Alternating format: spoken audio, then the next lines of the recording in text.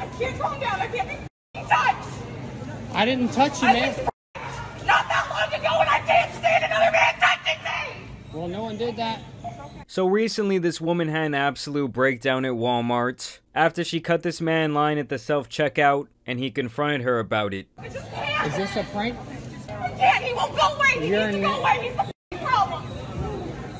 I need to leave. No, Just welcome. We'll take you to I still got. I still got. Okay. Let's, let's She threw some of my stuff.